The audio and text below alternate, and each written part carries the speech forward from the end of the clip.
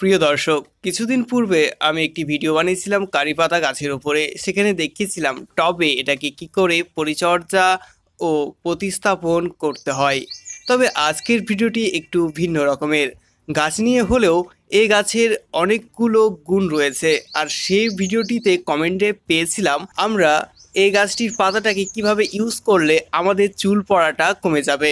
চুল পড়াটা বিরাট বড় সমস্যা হয়ে দাঁড়িয়েছে সবার ক্ষেত্রে। তবে আপনাদেরকে একটি মজার বিষয় বলে রাখি, কিছুদিন পূর্বে আমারও সেম প্রবলেম লক্ষ্য করা যাচ্ছিল। তার কারণ আমি বিভিন্ন জায়গায় ঘুরে থাকি, বিভিন্ন জল ইউজ করি, তাই হয়তো আমার হেয়ার ফলটা লক্ষ্য করা গিয়েছিল। তবে এটাকে আমি কি করে আটকেছি নিজের পার্সোনাল এক্সপিরিয়েন্স আপনাদের সাথে শেয়ার করব। এই কারি পাতার মধ্যে রয়েছে protein amino acid beta carotene এটি চুলের গ্রোথের ওপর বিশেষভাবে প্রভাব ফেলতে পারে। আপনাদের অনেকের সময় নষ্ট যাতে না হয়, তার জন্য প্রথমেই বলে দিই, যাদের মাথায় একেবারে চুল নেই, পুরো পরিষ্কার হয়ে গিয়েছে, তারা যদি এই কারি পাতা বা আজকের ভিডিওটা দেখেন, তবে কোনো কাজ পাবেন না। কারণ পরিষ্কার মাথায় কারি পাতা ইউজ করলেও চুল নতুন করে গজাতে পারবে না। দ্বিতীয়ত, এটা তখনই কাজ করবে যদি আপনার হেয়ার ফল সব থেকে বেশি হয়। আপনার চুল আছে, কিন্তু ধীরে ধীরে আপনি লক্ষ্য করছেন, আপনার চুলগুলো অনেক পাতলা হয়ে গিয়েছে পূর্বের তুলনায়। এবং কন্টিনিউ আপনার হেয়ার ফল হতেই থাকছে। সেক্ষেত্রে আজকের টিপসটি আপনার কাজে লাগতে পারে। আমি যেটা ইউজ করেছি, এই কারি পাতাটাকে কাঁচাও আপনি ইউজ করতে পারেন, এটাকে শুকিয়েও আপনি ইউজ করতে পারেন।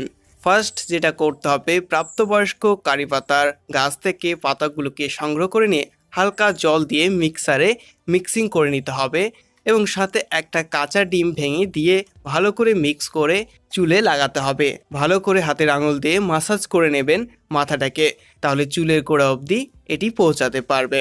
দ্বিতীয়ত, যদি মনে করেন যে আপনার বাড়িতে কোনো কারি পাতার গাছ নেই, কারও বাড়ি থেকে সংগ্রহ করে নিয়ে এসছেন, বারবার তো আপনি নিয়ে আসতে পারবেন না, সেক্ষেত্রে অনেকগুলো কারি পাতা নিয়ে আসবেন, রোদে শুকিয়ে নেবেন।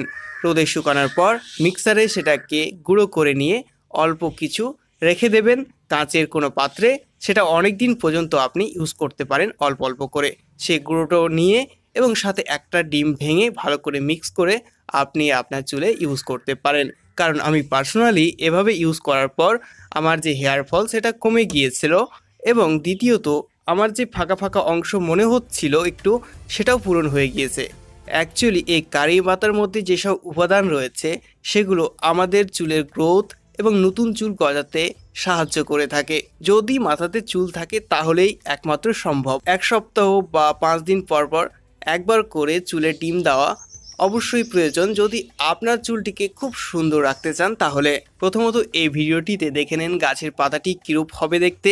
দ্বিতীয়ত, গাছের পাতা ছিঁড়ে আপনি সেই পাতার গন্ধটা বুঝতে পারবেন। মানে তীব্র একটি গন্ধ রয়েছে এই গাছের পাতাতে।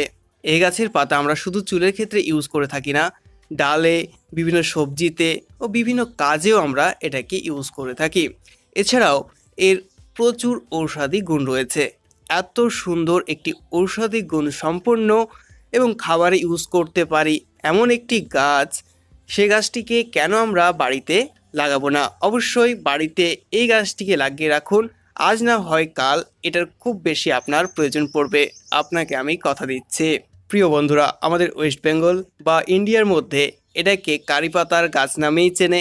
তবে আমার বাংলাদেশের বন্ধুদের ক্ষেত্রে বলছি, অনেকজন কারি পাতা বললে বাংলাদেশে সে গাছটি পাচ্ছেন না। সেক্ষেত্রে আপনারা মিষ্টি নিম পাতা বলতে পারেন।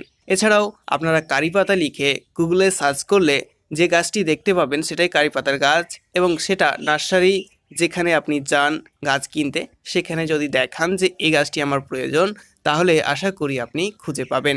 তাই গুগলে সার্চ করে আপনি এর পুরো ডিটেলস জেনে নিতে পারেন। আই হোপ যে আপনার ভিডিওটি ভালো লেগেছে। আর এই গাছটির প্রতিস্থাপনের ভিডিও দেখতে চাইলে আমার এই ভিডিও ডেসক্রিপশনে লিঙ্ক থাকবে। আপনি কাইন্ডলি দেখে নিতে পারেন। আমি এমডি তারিখ আজকের মতো বিদায় নিচ্ছি। দেখা করছি কোনো একটি ইন্টারেস্টিং ভিডিও নিয়ে ততক্ষণের জন্য। ভালো থাকুন, ধন্যবাদ।